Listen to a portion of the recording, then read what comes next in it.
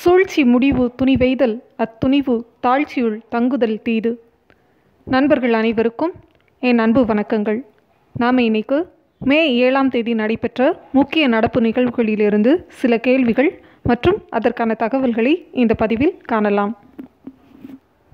சமீபத்தில் பெரும் விபத்து ஏற்பட்ட விசாகப்பட்டினம் ஆலையிலிருந்து கசிந்த வாயுவின் பெயர் என்ன? ஸ்டைரின் இந்த விபத்து ஏற்பட்ட எல்ஜி நிறுவனமானது ஆந்திர மாநிலத்தில் விசாகப்பட்டினத்தில் உள்ளது. ஸ்டைரின் இதனுடைய வேறு பெயர் வினைல் பென்சின்.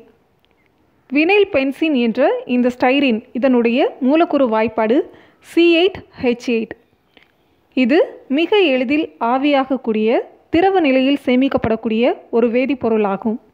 இந்த ஸ்டைரின் ஆனது நிறமற்றதாகவும் சில நேரங்களில் லேசான மஞ்சள் நிறத்திலும் காணப்படும்.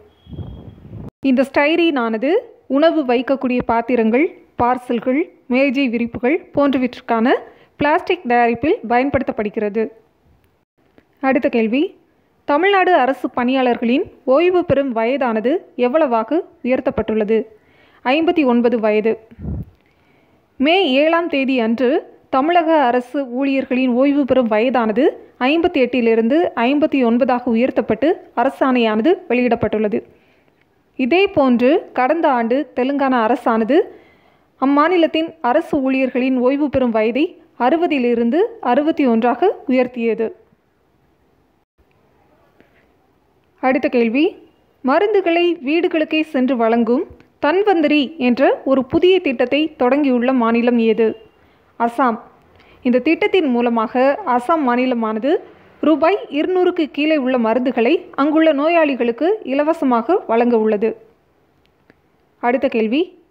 ஊரடங்கு காலத்தில் பள்ளி மாணவர்களின் நலன் கருதி உணவுப் பொருட்களை வீடுகளுக்கு சென்று வழங்கக்கூடிய திட்டத்தை முதன் முதலாக கொண்டு வந்துள்ள மாநிலம் ஏது? மத்திய பிரதேசம். இந்த திட்டமானது மிட் டே மீல் ரேஷன் என்று அழைக்கப்படுகிறது. இந்த திட்டத்தை கொண்டு வந்துள்ள முதல் மாநிலம் மத்திய பிரதேசம் ஆகும். அடுத்த கேள்வி. கொரோனா நோய் தொற்றினை கண்காணிக்க கவசம் எனும் செயலியினை வடிவமைத்துள்ள அமைப்பு எது?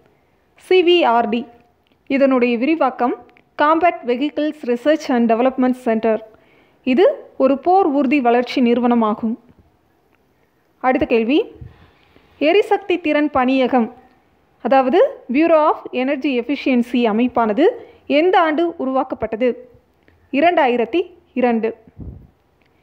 இந்த பிஇஇ இதானது எரிசக்தி பாதுகாப்பு சட்டம் இரண்டாயிரத்தி ஒன்றின் படி உருவாக்கப்பட்டது.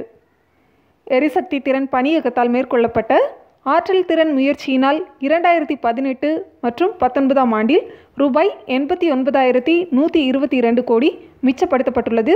குறிப்பிடத்தக்கது. அண்மையில் இந்த பிஇஇ அமைப்பானது டீப் ஃப்ரீசர் மற்றும் லைட் கமர்ஷியல் ஏர் கண்டிஷனருக்கு ஸ்டார் குறியீடு வழங்குவதனை அறிமுகப்படுத்தியுள்ளது. அடுத்த கேள்வி. தலைமை எஃகு தொழில்துறை அமைப்பான இந்திய எஃகு சங்கத்திலிருந்து வெளியேறியுள்ள எஃகு நிறுவனம் எது? டாடா ஸ்டீல்.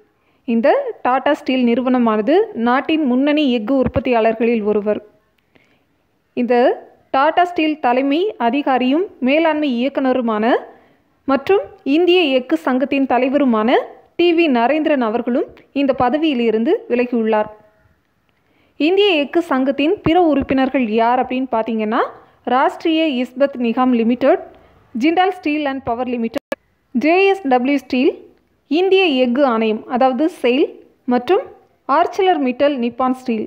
இது எல்லாமே இந்த இந்திய எஃகு சங்கத்தின் உறுப்பினர்கள்.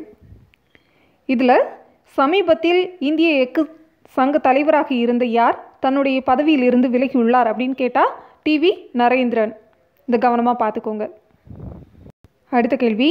கோவிட் பத்தொன்பது நோய் தொற்று சிகிச்சையில் ஒரு முக்கியமான படியாக கருதப்படும் மோனோக்ளோனைல் நடுநிலைப்படுத்தும் நோய் எதிர்ப்பு பொருளை வெற்றிகரமாக தனிமைப்படுத்தியுள்ள நாடு எது? இஸ்ரேல். இதனை இஸ்ரேல் உயிரியல் ஆராய்ச்சி நிறுவனம் அதாவது ஐஐபிஆர் தனிமைப்படுத்தியுள்ளது.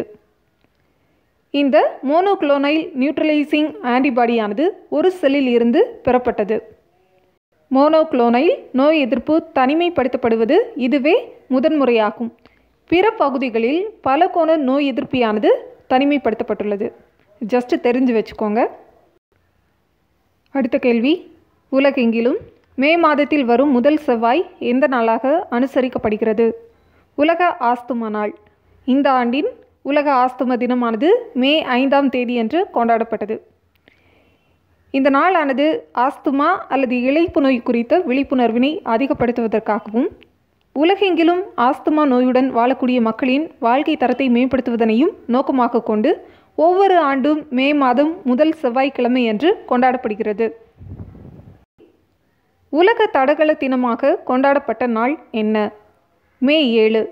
இந்த உலக தடகள தினத்தை கொண்டாடக்கூடிய அமைப்பு ஐஏஏஎஃப் இதனுடைய விரிவாக்கம் international association for athletics federation இந்த ஐஏஏஎஃப் இதனுடைய தலைமையிடமானது மொனாக்கா நாட்டிலுள்ள மாண்டே கார்லோ என்ற இடத்தில் அமைந்துள்ளது. இவ்வளவுதான் நண்பர்களே. நாம் மே ஏழாம் தேதி அன்று நடைபெற்ற முக்கிய நடப்பு நிகழ்வுகளிலிருந்து கேள்விகள் மற்றும் அதற்கான தகவல்களை இந்த பதிவில் பார்த்தோம். இந்த பதிவு உங்களுக்கு மிகவும் பயனுள்ளதாக இருந்திருக்கும். இதை கண்டிப்பாக உங்கள் நண்பர்களோட பகிர்ந்துக்கோங்க. உங்கள் கருத்துக்களை மறக்காமல் பதிவு செய்யுங்க. இதே மாதிரி அடுத்த பதிவில் நாம் விரைவில் சந்திக்கலாம். நன்றி நண்பர்களே.